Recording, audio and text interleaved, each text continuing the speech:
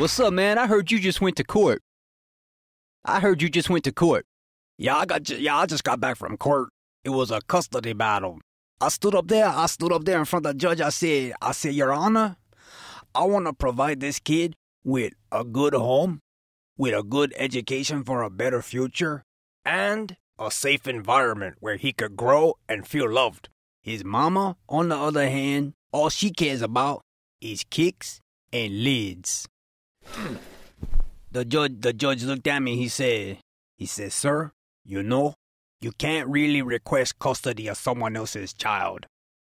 I had to respect that. Hey, what's up? That's Mane Vane. Who that is? That's Mane Vane? Hey, what's up, Mane Vane? What's up? I know you. You owe me $700, homie. I don't believe